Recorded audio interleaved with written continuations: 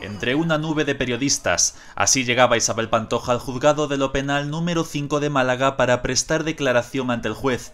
La tonadillera está acusada del presunto delito de insolvencia punible por la venta de su casa de la Pera en el año 2015, por el que podría enfrentarse a una pena de hasta tres años de prisión y a una multa que ascendería a 11.000 euros.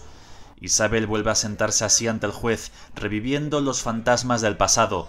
La artista ha llegado a los juzgados desbordada y ocultando su nerviosismo bajo una mascarilla negra y sus inseparables gafas de sol ray Una cita que la cantante había intentado eludir alegando problemas de salud, pero finalmente ha tenido que acudir presencialmente y volver a ser el centro de todas las miradas.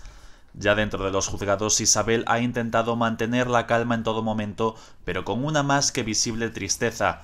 La pantoja no era capaz ni de levantar la mirada en muchas ocasiones.